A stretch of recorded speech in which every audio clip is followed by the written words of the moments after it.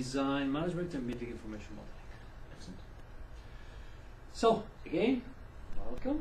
Um, I'm, uh, I have the pleasure of introducing to you, and this is an unexpected return event, Professor Steve Lockley, who will in turn introduce our guest today. So the reason I'm doing this is because uh, Steve is a professor here at Northumbria University and has kindly invited Steve to come and present. Um, and Steve will be the guest lecturer for tomorrow's session, so you know already uh, of him. So you want to introduce, as you said, Yes, I will do. Yeah. this is Dr. Stephen Hamil. Uh, Steve and I go back uh, probably 18 years. 15 Late years. nineties, wasn't it? Late 90s. And we've worked together on basically over the last 15 years on developing BIM technologies, BIM software, both in research in Newcastle University, and now Steve and I went out into industry and worked in industry. Steve now heads up building information modelling for the National Building Specification, which is part of the Royal Institute of British Architects. So he's um, he's risen to great heights. Okay, so I'll uh, just let you Yeah, I'll uh, just go. start your presentation and we'll say more about Steve Lockley tomorrow. So what I've got planned is I've got a 15 minute PowerPoint that just shows maybe a bit of the theory behind what we're trying to do. And then we've got 15 minutes looking at BIM objects that you put in tools such as Revit or AutoCAD. And then 15 minutes looking at how that relates to specification properties. And then we'll do some questions. So it goes straight through, it's about 45 minutes. But if you want to ask questions as we go, it'll stretch a bit, but I, I'm not in a rush to get off home. So however you want to play it. And I'm going to talk about yeah, the information that matters, building information modelling. Just uh, briefly look at how in a digital age the construction industry is adapting to these new digital technologies and process. What are the challenges ahead of us? And what support the industry needs to, to meet these challenges. In terms of our organisation, NBS, we're owned by the Royal Institute of British Architects. So we're a private organisation that employs around 250 people. Got R&D department of about 30 technical authors, so architects are about 30 people as well. And we of define exactly what we want to do ourselves, but at the end of the year all of our profit goes to the Royal Institute of British Architects and that money is used uh, to promote architecture in the UK and to help UK companies. As uh, an organisation, NBS, we're best known for our specification software. sort of template clauses for specifying things like the floor. And as well as your template clause, you get uh, technical guidance that helps you uh, specify building fabric engineering on, on construction projects. I started out studying at Durham University in the 90s. I studied structural engineering and then stayed on and did a PhD in the sort of analysis of uh, digital models, was finite element modelling back then, and actually having physical specimens as well. So what you see there is a reinforced concrete uh, beam con- connection, and I also had one of those on the computer, in order to the finite elements, and make sure that it broke at the same time if you simulated earthquakes. So him, if you like, back in the 90s, and that Steve Lockley doing software products for NBS and I've gone from software developer to now of talking to our key clients, teasing out their requirements and sort of defining how, how our products are going to develop and what new products we need in industry. So digital construction age, you see other industries like the music industry, uh, it was probably only 10 years ago, people having LPs and tape recorders, and that's just out of the window now, and people listen to music digital MP3 players, playlists, iPhone Genius. Just buy the songs you want. It's completely revolutionised music. Uh, this week, HMV, the final nail in the coffin, uh, the big sort of high store, uh, high street store in the UK. And it's not just uh, music, movies, video players are a thing of the past now, and you get your movies streamed to whatever device you like to watch them on. By the And- way, Blockbuster is now into administration as well. yes, of blockbusters. uh, and sales of books have gone this way, sales of digital uh, materials gone that way. So you've seen it in lots of different industries. What you say HMV, Blockbusters, Jessop's. Uh, this is what is happening out there, and the same thing's happening in construction. Only back in the 90s, I was taught how to draw using a drawing board, pencil, rubber, uh, I don't know what it's called, set square or whatever it is. And now at universities like Northumbria, students are getting taught to generate three-dimensional models with uh, well-structured information. And there's still people out there that don't accept that this is happening. But if you don't accept that change is happening, this is the sort of thing that would happen to you, you, yourself, either as a professional or your organisation. The same thing that's happened to Kodak. So Kodak in the 1990s had a turnover of 16 billion dollars. They're one of the top four or five American companies. Had 90% of the market selling traditional cameras and film. And digital comes along, and like the trends are so obvious there, where they sort of fell off a cliff.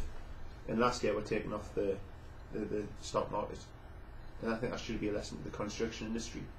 That if as an organisation, an engineering practice, architectural practice, contractor, if you don't recognise this is happening, this, this could well be your your organisation.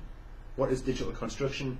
It's a combination of a lot of things. In, in my point of view, there's obviously the IT, the software side. Can't exist without that. You need to have skilled people, whether it's skilling existing staff or the, the, the new breed coming through university, and getting that process right. Everyone agreeing the rules. How are we going to work together and collaborate? But I think all of that doesn't work. All of that falls to pieces if you haven't got the the information right underneath. And that's the sort of focus of, of this presentation. Where are we now with BIM? If you go around some of the sort of leading architectural practices, so the likes of Ryder or Space Group in the northeast that you, you might get in talking to you, the fantastic way of visualizing. Instead of just seeing things in 2D, you can actually see things in 3D, move it around. You are selling the concept to a client, you can really sort of wow them. The client selling to future occupiers, you can really sort of picture uh, the design before it's built. And from that sort of geometry, you can generate unlimited amount of drawings, taking slices through the model, and there's a different plan. Show me a plan with just fittings on, make the rest invisible. There, there you go. Show me a fire strategy just with the sort of envelope with the rooms. Unlimited drawings you can generate from that model. And when you start to work together, say a structural engineer with a service engineer, you can eliminate the sort of clashes of like ducts and steel work before you actually go on site. So you're not experimenting for the first time with a real building, you're getting it right digitally. So that's happening at the moment, not in every practice, but uh, in a number of practices now, increasing number. Now it's time to focus on the information in BIM, and that's what our organisation sort of strategic focus is. What are the challenges? Like we'll go through each of these in a little bit of detail. Where do the information rich objects come from? What standards are the objects authored to? Oh, I've come all the way at the back by clicking N. Let's just uh, where were we?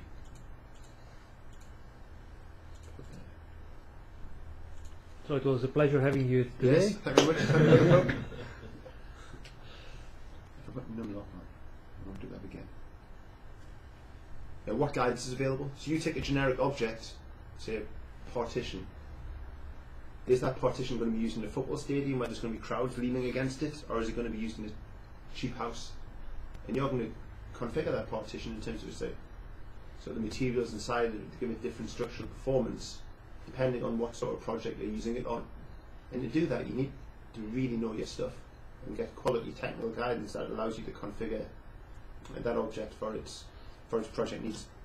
Where did the manufacturing information come from? What about interoperability? Let's just look at each of those. The first question: Where does the information? Where do the information-rich objects come from? If you buy tools such as Revit or AutoCAD, the objects you get out of the box focus pretty heavily around the basic geometry. So how far is the handle away from the door? What have we got there?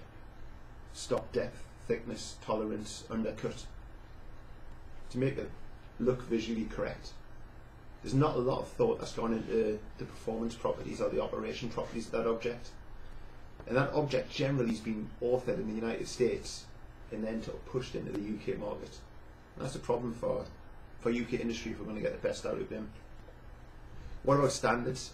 If everybody's authoring objects in different companies, or even within a company, if the person over there is authoring to a different standard to the person over there, you're going to get this sort of problem. So give me a schedule of all my doors, and then say, okay, tell me what the fire performance is. And instead of looking down a nice column, it's going to be a squiggly. So one person's called it fire rating, one's called it fire rating without a space, someone's called it fire designation, and then someone's downloaded another object where they've called it fire grade. And that, that makes your life hard, because then you've got to take the task of normalizing it. If you want to do any ana- analysis on this, you can't, because there's not that common language. So where do the objects come from? What standards are the objects authored to? And then what we were talking about the guidance, and we've talked about structural performance, but just want to stick on fire ratings. Is that a 30 minute door or a 60 minute door or a 2 hour door? If it's around the kitchen, is that a 1 hour fire rating or a 2 hour fire rating? Is it a British Standard 476 or 16341? What happens when that changes a little bit? Not everybody, well, I say nobody's got all that information in their head, even the best designers.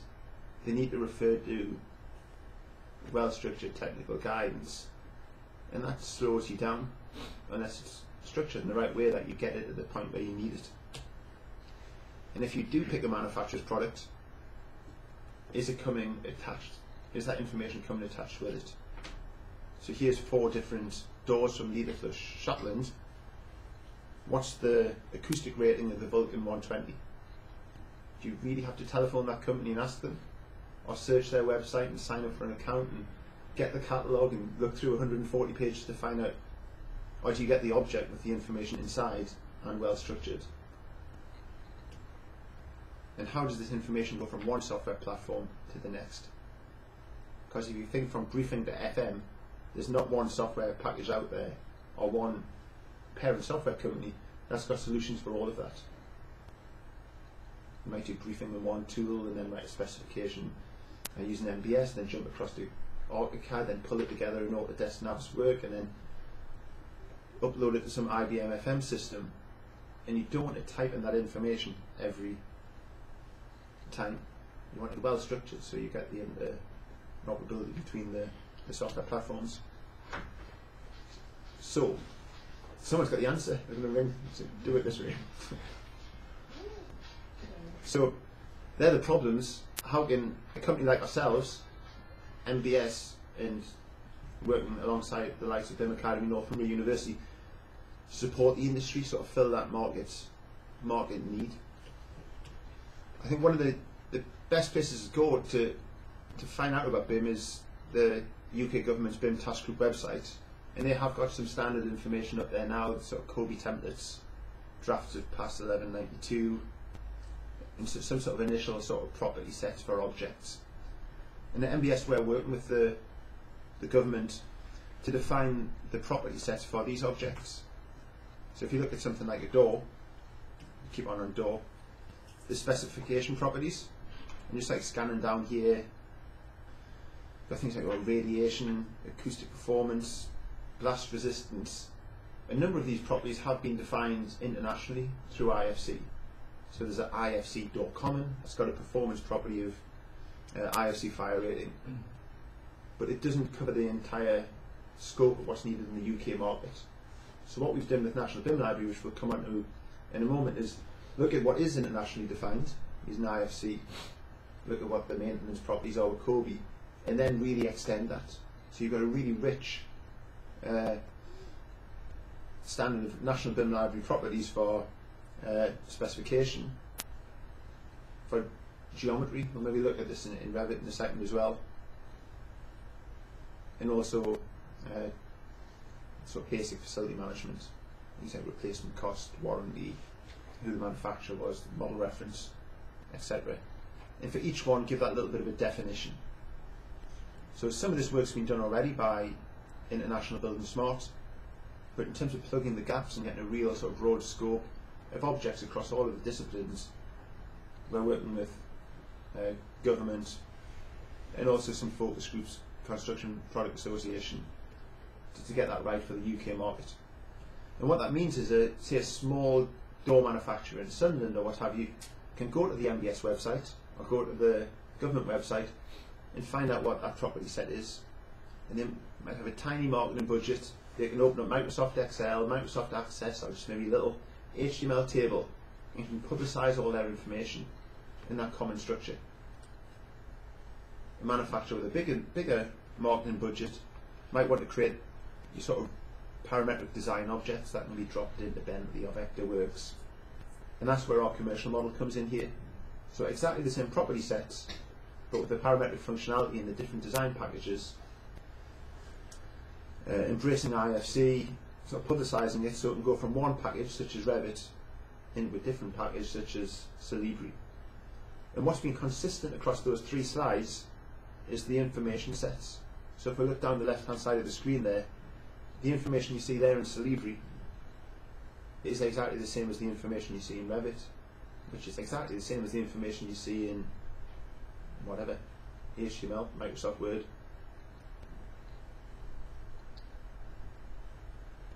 Geometrically, it might not look as good as you go from Revit to Solibri, but the course of performance properties, FM properties are, are con consistent. And one of the key thing that gets really important for BIM adoption to work is to really get that complexity under the hood. So that how the data structures work, how databases connect with each other, how clever the software is, it'll allow the construction industry to do what they do best. So design buildings, construct buildings, and not have to be completely skilled in every single thing. An IT expert, a software expert, uh, because there's not many people out there that have that broad range of skills. And a, a really good example of that working well in the more advanced industries, I think if you think of Google Maps. So if you think the complexity behind Google Maps, it's just unbelievable. And you think the data behind what we're looking at there, the connected databases, the I don't even know what the term is, terabytes, terabytes, terabytes of information is incredible. But my grandma can come in and with a wheelie mouse zoom in on the north of England, on sort of North Tyneside, Newcastle, find somewhere and find out what their telephone number is. So, enormous amount of information, and I've just gone, I'd like that bit, please. And that's You only will possible. in there, won't you, Steve? Oh, we'd be there in half an hour's time. a little cafe or whatever pub in Newcastle. And then connected information, that's the view from outside it. And you just take that for granted, but the mind boggles if you think of how clever it is behind the scenes. And I think we're going in the right direction through proper information structures, classification, interoperability to get that working uh, for a building, or even higher than a building for a, a complex. So what you can see there is maybe a holiday village at the side of the lake. And there's no reason why you can't query that and say, actually, I'm interested in that building down there. And that's maybe the restaurant. So you've got lots of holiday homes and a gym and all the rest, reception. But I'm interested in the restaurant. Then from that restaurant, go down to a particular floor you're interested in. And then actually, I'm interested in the, the, the washroom. And then from the washroom, jump down to a system. So maybe got a wash basin assembly that's made up of the wash basin itself, the taps, the waste, the proximity sensor, plug, what have you.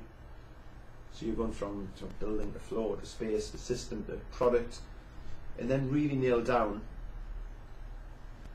to the actual property sets. You probably can't see that on the screen, but there's a little property there saying that the the hot tap should be to the left and the cold tap should be to the right. And you've gone from a whole holiday village down to a particular wash basin and a particular washroom through getting that data structured classification, the interoperability correct. And then jump all the way back out again. And it's a fantastic opportunity at the moment with BIM because it is sort of in development. And this is market research, international market research done by Autodesk for Europe, Middle East and in Asia. And when they look at the different markets, the size of the market is the the sort of size of the football, if you like. And then you've got the I think the capability on the left hand side in terms of people working on BIM projects. And then you've got the central government policy on the right hand side. Or the central clients, not the government, it could be sort of big clients as well. And when they look at Europe, Middle East and Asia, they see UK as being second only to Finland. And I think in the UK that's just going to continue to to, to get better year on year on year, and we're going to really push up there and challenge for that top spot. And from a government's point of view, that's fantastic in terms of value for money for construction when they spend however much they spend every year on new construction and maintenance, at 40 billion or something. But it's great news for UK industry as well, because it will mean that UK contractors, software companies, manufacturers, architects can actually sell their skills overseas. So when there's a build, building contract come up in Qatar or uh, India or wherever, we can actually export our skills uh, internationally as well. So digital revolution's happening across the world, and it's it's really happening in construction now. It's it's sort of started. But when we talk about we've got to be careful not to get caught in the trap that it's all about pretty visualizations and wow, we can do clash detection now. We've got to think a little bit further in terms of the information properly set behind the scenes. And if we have standardised, well-structured information in the in the, the UK, it's really going to get efficiencies and help all the different industries around the construction industry grow. So that's the end of the PowerPoint. There's a few little useful. Actually, I'll, I'll show you that little website uh, just to start off. So I'm on 3G here, so this looking at websites might just fall over. This is our website, thenbs.com, and we try to sell our products from here, but we also give out quite a lot of free information. And uh, if you look at the topic areas, come on, come on, come on. Yeah, it's going to work. I can try and log you in to the Wi-Fi anyway. It seems to be just about going. I only need to do four or five. Okay. You can see these are the areas that we think are of real interest to the construction industry at the moment. So things like sustainability, contracts and loan, new building technologies. And two or three years ago, we identified building information modelling as being a, a real sort of hot topic, and it has turned out to be so. So if you go to our building information modelling area, we've got about I don't know over hundred expert articles, one from Professor Lockley, uh, so international experts overseas. And you see oh, what is it from an architect's point of view, a cost consultant's point of view. That's the little articles area. Main contractor's point of view, etc. We've got a little videos area where we've got conference videos, like little 15 minute snippets, like I, I I've just previously done. We've got a two hour round table talking to the UK construction chief construction advisor. And every year we also do a nice sort of consolidated 20 or 30 page report. Surveys 1,000 practices and gives that sort of trend and analysis. So I think it, it is quite a respected area, online area now when it comes to learning about BIM. So please, if you get a chance over the next two or three weeks, have a browse around and then see if there's anything that that'll help you with when it comes to sort of researching topics, etc. Independently, actually one of our rival publishers did a, a big survey last year and said, where do you go to find out about BIM? And of the two or three areas that were, were named, they named the NBS website as being one of the, the, the, the key, key websites for, for finding out about BIM. The last little sub-menu there is the National BIM Library. And that's our project we've done uh, in collaboration with BIM Academy. And that's going to take a little while. I'll just kick off Revit when that's opening. But what we've got in National BIM Library now is about 500 objects, mainly across the architecture discipline. And 400 of those objects are generic, so a manufacturer is not mentioned, and all the values are, blank, ready to be completed. And we've got about 100 now which are actually manufacturer objects. So you could download the uh, ceiling object from Knauf AMF ceiling, and inside that object will be all the, the correct properties that previously just been in their catalogues. Hasn't noticed it was Okay, I'll, I'll just show you in the context of a building rather than. So let's just have a little look at this building here. That's this is the restaurant that the screenshots were from. So I'll just have a little look in 3D uh, first.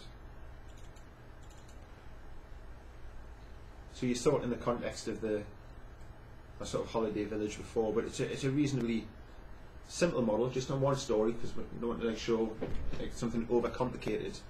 But it's predominantly been made using National BIM Library components. So I'm just going to have a little look through the, the floor the floor plan here.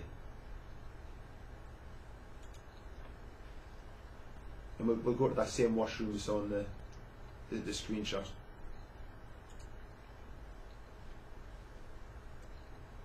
So if you have a look at this area here, the, the floor covering system, so whatever resilient tile floor covering system, the partitions, the external walls, the cladding, all of the sanitary ware from urinals to toilets to washrooms, mirrors, uh, the cubicles, doors, windows, ceilings, roof, they've all came from that central national library with the standardised property sets. So the advantage of that is if you're starting as maybe small, medium enterprise in BIM, you're not having to create a, a BIM department to create these non-standard objects and paying that large salary because you can come to our website and download sort of standardised ones and sort of get going for free. In terms of the larger architects, it gives them a chance to sort of maybe consolidate what they've built up over the last three or four years. Look at what we've done, take what they like, and just sort of uh, dip in and out. Maybe take the manufacturer objects and some of the generic they like. But I think the real big benefit comes from the the, cli- the big clients and the big contractors. Because every project they'll maybe work with a different architect.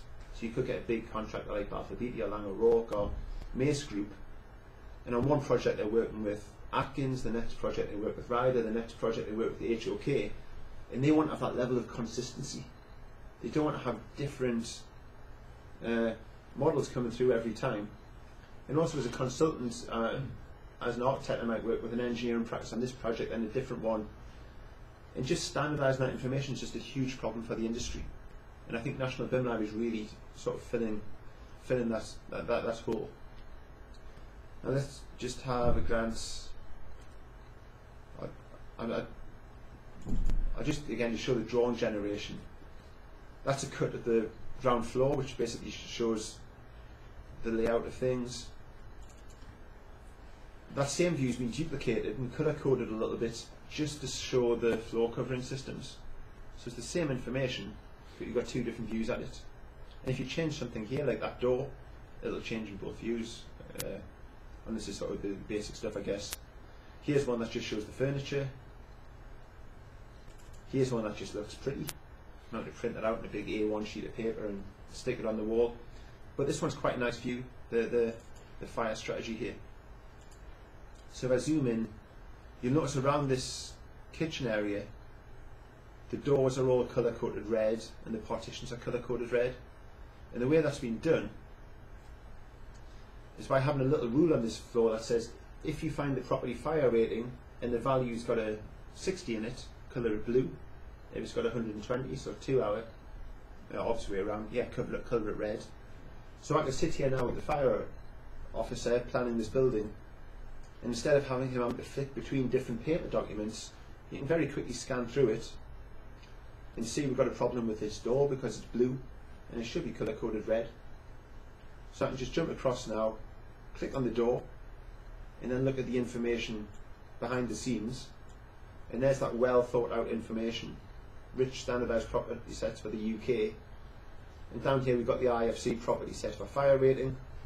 I change it to 120, and you'll see the door changes from a blue door to a red door. And there's far more complex things you can do in terms of analysis, but at a basic level, that just sort of highlights if you can get that consistency of property sets, uh, what's possible. Signage objects are quite nice as well. So these are proper 3D signage objects you can see in 3D, but when you look at it in plan, it's an oversized. This is where the fire extinguisher is. So I've just set fire to the chip pan. There's the fire extinguisher. Brilliant. I can't put out the fire. How do I run out of the building? I go that way, then that way, and then congregate outside. So real sort of useful objects uh, the industry can use. Okay, one thing we've got here, shall I show one of the manufacturer objects uh, quickly, just to show that consistency of property sets. Yeah, so ceilings here. This building's not quite as pretty. What I've got there is a sort of little demo building, prototype building. and I've just scheduled out some of the properties. These are probably going to be too too small to see on the, the, the screen, but the, this ceiling on the left here, just left it after the one on the right. This is our generic, so it says NBL exposed grid rectangular tile mineral fibre or something like that. Now the ceiling on the left is a fully specified manufacturer ceiling. That's the AMF. So you imagine doing your design, you, you'll stick a, a rectangle in to get the shape of the room, and then you do a bit of design on it using the, the generic ceiling. But before you pass that information to the client, uh, you picked a manufacturer. At some stage, a manufacturer's product is picked. Like this is a carpet from ABC Carpets, and this is a table from Lockley Furniture. And as that flow goes, you need to have the consistency between property sets. And if you look at the schedule here, I've got all of the sort of well thought out properties all aligning between the generic and the manufacturer. Acoustic rating, finish, colour, fire rating, grade, material, uh, etc. And you can see that consistency between the generic ceiling system and the manufacturer's branded ceiling system. So what we've seen there so far is basically Autodesk Revit's software. It could have been AutoCAD, uh, it could have been Bentley, but all quality information inside it. So we've used their structures to, to generate quality content to use at design time. What I'd like to show now is how that links with the software that we've developed here in Newcastle. So Autodesk, massive multinational company with billions of pounds, our, our little company in Newcastle now. So just to get a head around what we're doing again, I've got a nice little simple, simple building. So just have a little look through these uh, walls, and you see I've got a bath, I've got a sign, hand dryer, a couple of different types of door. So I've got an external solid door, and I've got a couple of double swing. So nice and simple. And we've got a little plugin in Revit here, and what you can do you can put that entire design together. This is something we actually did for uh, the Build Qatar Live challenge we did up here with BIM Academy. And click this button, and it'll go through all of the objects and generate an outline specification in our software. So I click Create Specification. This is take a little while, take maybe 45 seconds. Uh, just give it a name. Let's call it Northumbria. and it analyzes the Revit model, and every time it finds a new type of object, it downloads the very latest specification clause. So, if you imagine it was this room, it would look through the doors. We've got three instances of the same type of door. It finds the first one, pulls the specification clause in, and then it will jump through the next two, because you only specify it once. That sort of link between type and instance. So if we were all going to wear the same t-shirt, I'd specify the t-shirt once, but then we'd have whatever eight, eight different instances of that t-shirt. So you can see what it's done. It's, it's analysed that model and pulled down all of those specification systems and created the specification. So we'll just have a little look at that, uh, that, that software package and how the, the two relate, and in particular the property sets. We've probably got maybe 10 more minutes and then we'll have 10 minutes for questions if uh, we'll wrap up at 6 o'clock. And if you scan down, you'll see all the different people I've done this demonstration with.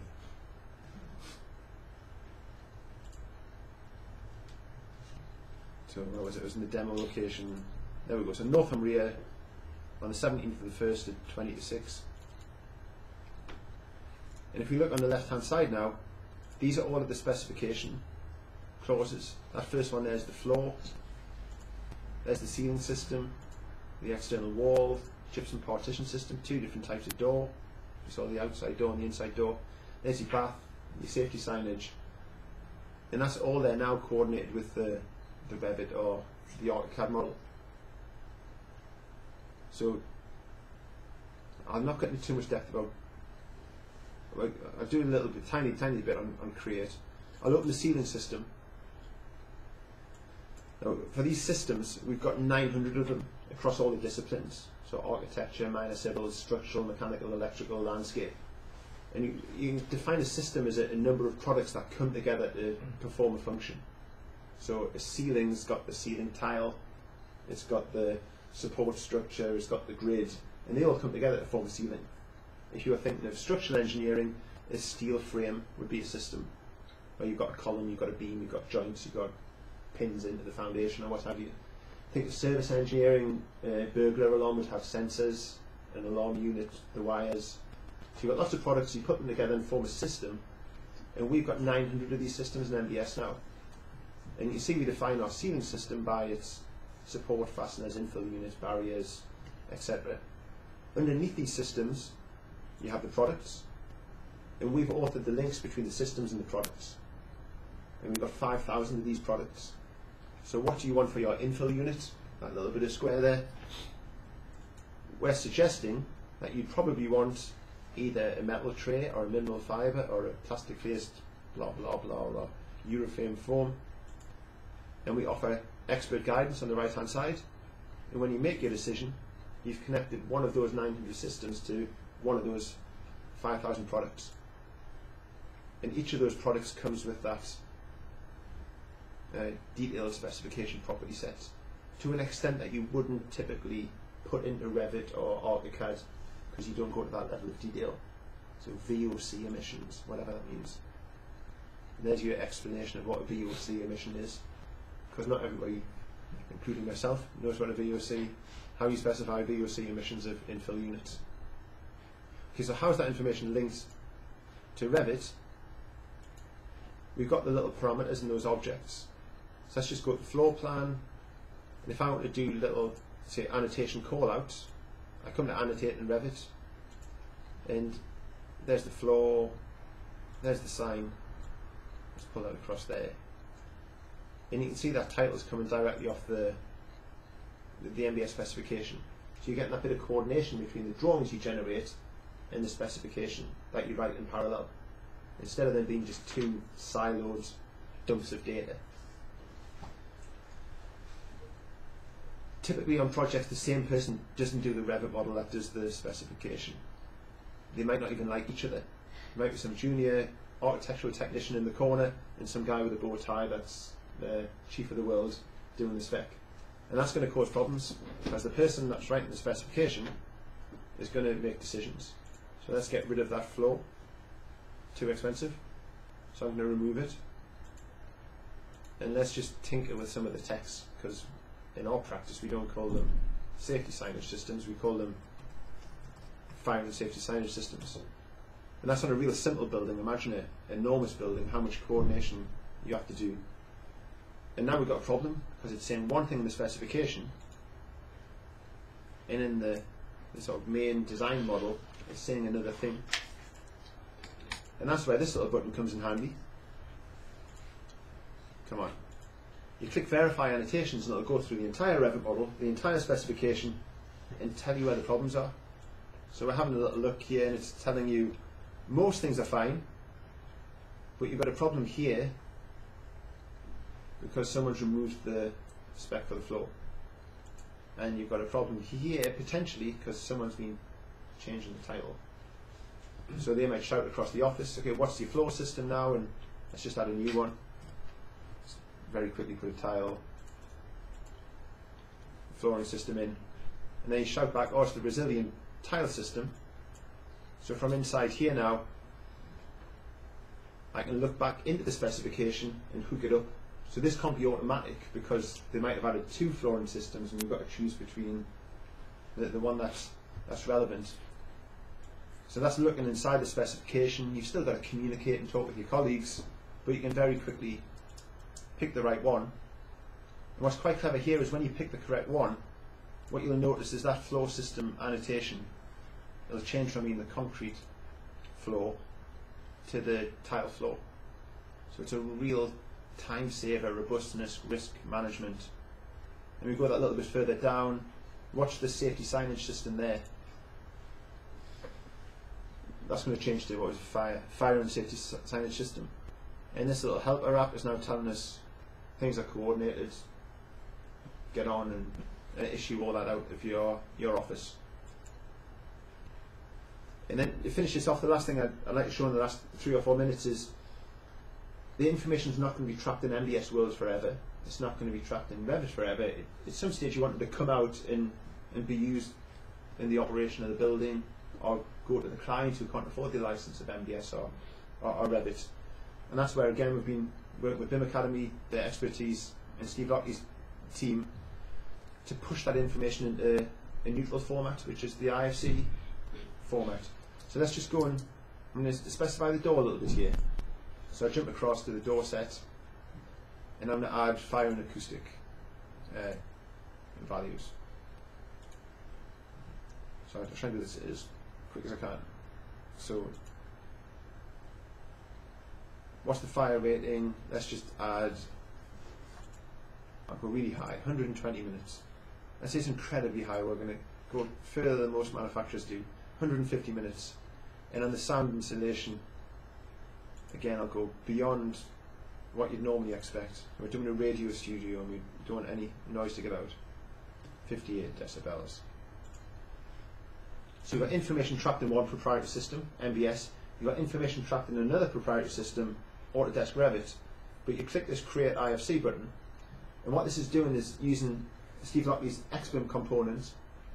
So our software developers are going through our data model, analysing it, and then using Steve's component, spitting that out to the platform neutral IFC file. I'm not sure if anyone's seen an IFC file before, but it looks something like where's Northam Northumbria IFC. Let's just show that in Notepad. There's only about six people in the world that understand what that means, and one of them's in the room. But the good news is the software tools that can read that in. But that's a durable, open standard format that 10 years from now, people will still be able to pick up and, and view the data in, in a number of software packages. So let's just have a little look at this package is called Solibri, but there's, there's many others out there, and a lot of them have free versions, so you can look at IFC. I think Steve's developed viewers as well. And I'll just go and open that. Where are we? Demo on it. There it is, Northumbria IFC file.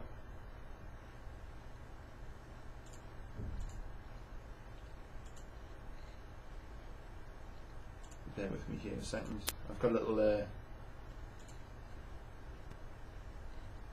oh, I forget how to do this. This one.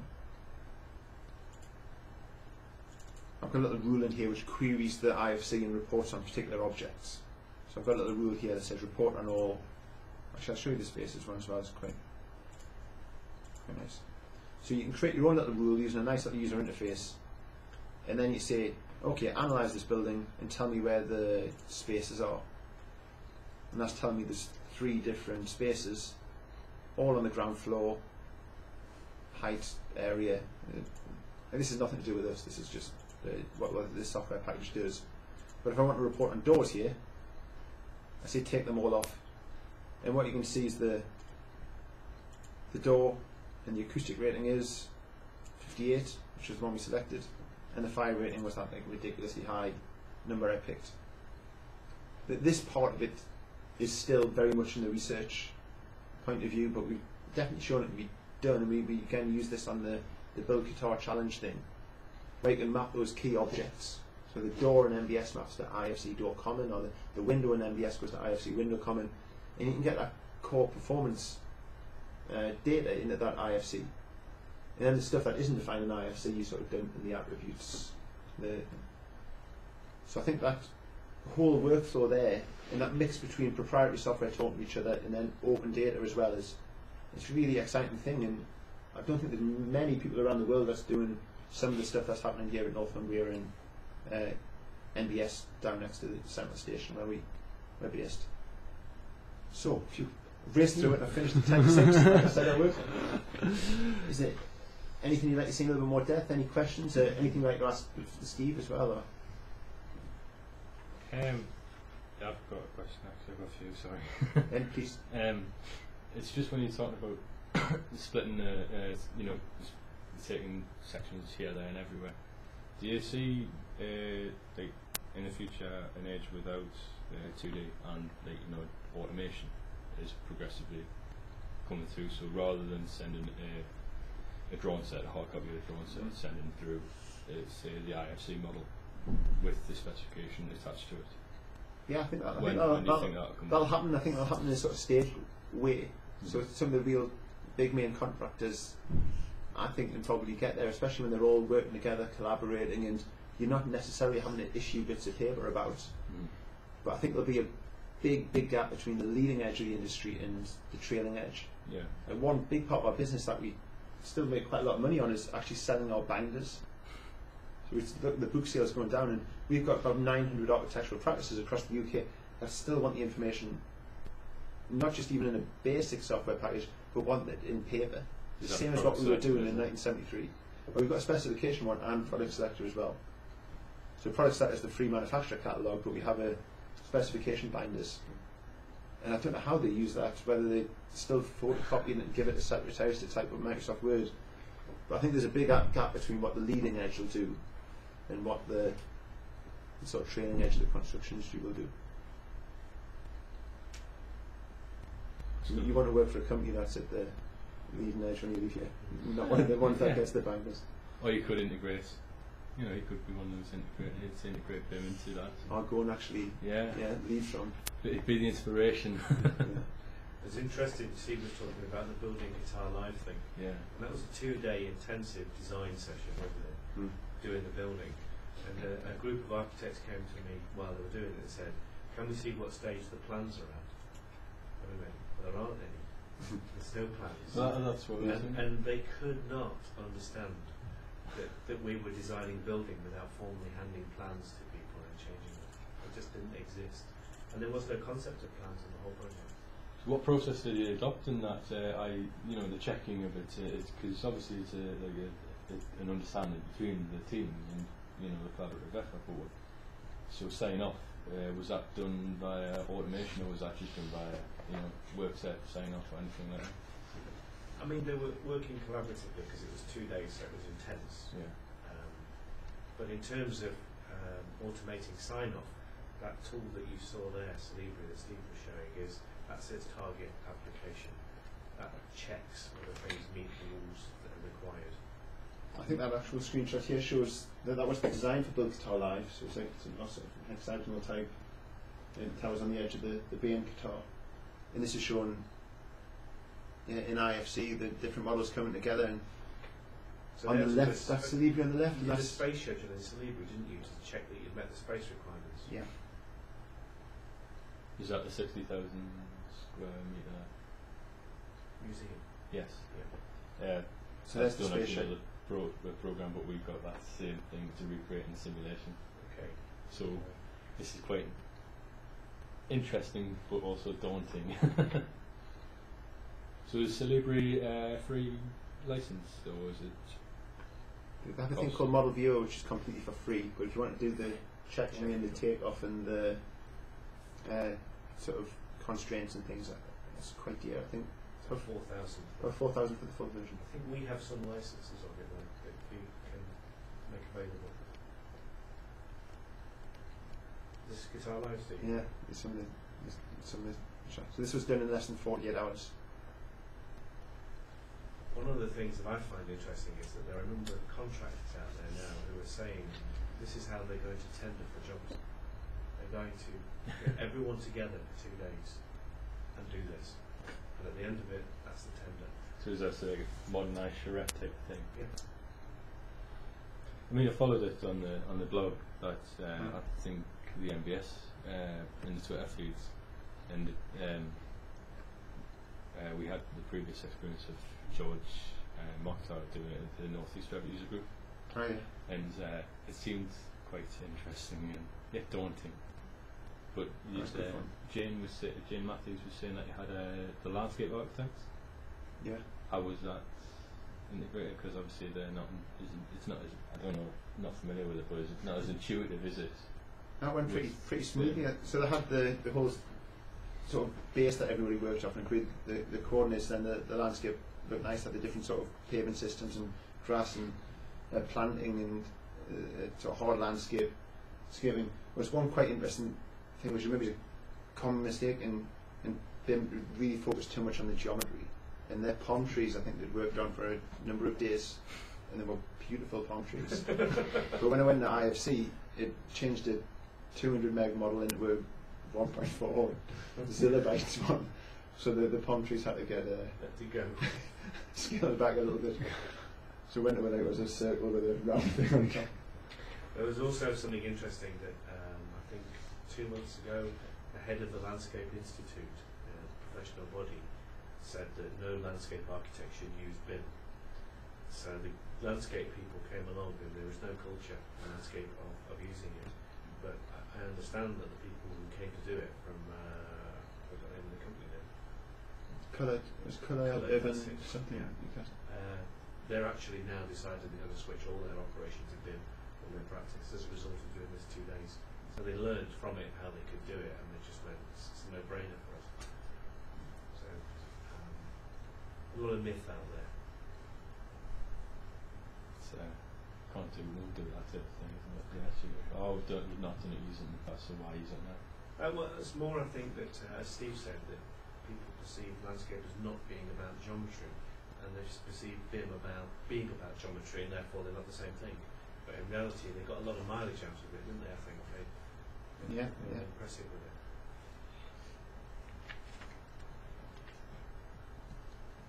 There was also one about, uh, yeah, I was just curious with regards to um, the hardware and software application. Obviously, not everyone's, you know, you've got people, with these smaller practices, tech, like, you know, two-man jobs or three-man jobs, that are interested in adopting BIM, um, and, you know, with the, with the libraries extensive as the BIM library, you've got a lot of those options that you're not necessarily requiring to have, so as radioactivity if you Mm. design like a restaurant, unless you want molecular like You see my astronomy. wife like looking. astronomy. I've seen some interesting things with castles. yeah. but uh, do you, uh, is there a chance? You know, is there a way to turn them off during like prior to download, or Yeah, from not familiar with it? an NBS point of view, what, what I demonstrated was the our sort of main most expensive package. But at the bottom end, we've got a tool called NBS Domestic, where you don't actually have to install any software. It works through the web browser, so you don't have to speak to any customer service, get any consent out. You, you go on forty-five pound on your credit card, and you can actually write a specification online on the cloud, and then sort of download the information at the end, either in uh, Excel in a structured format or it's a PDF if you're going to send it to a so we, we sort of cover customer bases from someone doing a kitchen extension all the way to someone doing a new terminal at sort of an international airport. Or, But it's fully What's co- that? uh, coordinated throughout. Like it's consistent throughout. So you know, you the functionality is a little bit better for the for the high end, but not a lot Yeah. better. yeah. yeah. But we, we do have the you can annotate from the domestic version as well. But in terms it's of just sort of sliding and scale. The, the bigger you are, the more money you've got, the, the better content and better functionality Mhm. you, you get. It's just, yeah, I mean, I think Peter, uh, Peter in yesterday, which is uh, obviously both familiar with. He was talking about certain, so many different uh, contractors and so many different architects working on one uh, one thing. It's varying ranges of sizes, and I was just wondering how did that work out or anything. Um, and I'm assuming the domestic uh, in NBS specification is consistent with the with the NBS create or NBS building as you would suggest. Yeah, it's the same technical authors are right, and Yeah. go for consistency. And of course, you could have something really complex on a small project. Yeah. I think some rich person that owns a house wants to have some incredible solar panel system, and you could have something really simple on a big project, so it's not necessarily. Uh, There's also a big issue about time because y- you know you might have a job where it's like Steve was saying, it's really important at the start of the job that you specify in detail this thing, but this thing you don't care about until six months later or even when it's in use. So you can't put every single property onto every object all the time. You've got to, and, and there isn't actually at the moment that's a real problem. I think no one's solved that because at the moment we are just getting to grips with it. So, for instance, Steve showed you there that they've got properties that you use for maintenance, like warranty period and guarantee and all that kind of stuff. But if you put those in, which we have done, would an architect on the first week of a job have any idea what values to put in there? No. So it's actually just annoying information to them. And Yeah. and th- there's issues now trying to get them to fill these slots in with values because the culture isn't there to fill them in. So there's there's no answer to that. It's people are still now they're getting rich data. They're coming to terms with how they're going to manage it. It's not resolved yet. I think this is where BIM uh, execution plans come in, and you will have to specify what richness of information needs to be available by some specific date in time, so that you know that your design is complete or it's maybe missing some information that very required. This is something that's a bit sort of secret, but th- this is a mock-up of the, the government's website, but with the object property sets in. And when we talk about object property sets, we're not just talking about a table, but the building itself is an object, which breaks down into say, a classroom, which breaks down into, well, we went into that before. So if you start a building, there could be the property sets that define a building. Bit fast, Steve. Is that too fast? Now, if I'm at the stage, of, are we going to do a building or not? So that real initial business case stage, there's so much distraction there, as, as Steve was saying. So I might want to filter it by the digital plan of work stage to stage zero or stage A. And all you have to really care about is what's the function of the building. So you could be the architect extracting the brief from the client. Well, why do you want the building and what's your budget? So, okay, well, okay, you do want a building, you've made me the case, and you've got enough money, we'll go on to the next stage now. And then you start looking at maybe buildability and operation strategy, and then you go further and what are the number of floors, and how does that map onto. And that, that works for objects as big as a building or as small as a, a door. But that little bit of guidance of when you need to fill in that property, or when likely, is a thing that's really missing at the moment. And that'll be a system in the BIM execution plan. Obviously. Uh, at the moment, this is getting defined from a, a government client point of view, where we're a smart client, we know exactly what we want, we want this information at this stage. It's, it's an incredibly detailed BIM execution plan. If you stop the disciplines against it, so the staircase is going to have the responsibility of these property sets with the structural engineer, but the architect's going to finish the uh, aesthetic design.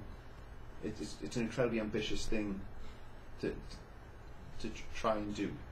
So it's mocked up, we're talking about it, it's so, I, Well, supposed to be done by December. Yeah, of course, the SPY did it in the United States seven years ago. It was all finished, didn't it? Yeah, right. the interesting thing there, though, is that uh, that's is that the COBie data set you're pointing out there, Steve? Is it related to it? It's the same principle, yeah. Same principle. Yeah. If you look at some of those properties, Steve had their operational expenditure. It's all right. It's, um, the if you just look, say, where was it? Any one of those really, but you see down there it says capital costs and operational costs. You would think anyone commissioning a building that would be pretty much paramount. How much is it going to cost me to build, and how much is it going to cost me to run? And yet, you'll have to struggle to fight to get that information out of the design team. They won't want to tell you that. I mean, they, they'll, they'll resist it until the very last minute when you're just about to go on site, say what the building's going to cost and how much it's going to cost to run. So that's why clients really want this because they want the information right up front so they can start making proper decisions about things. And that's what BIM does. Gives you the power to do that. So now they're formally stating, I want this now at this stage in the job, not in six months' time or when you've fiddled around with it a bit. And so consequently, the industry hates it. So there's a backlash coming from contractors and people like that because they really don't want to be this transparent to people, especially clients. That's why in Italy the business was done on the bottom and on the left because we are trying hard to resist to any of this transparency.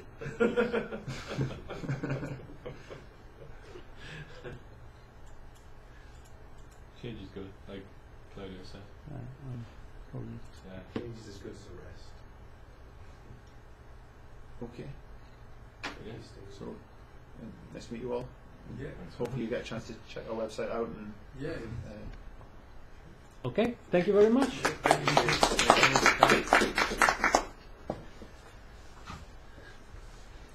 Do you incorporate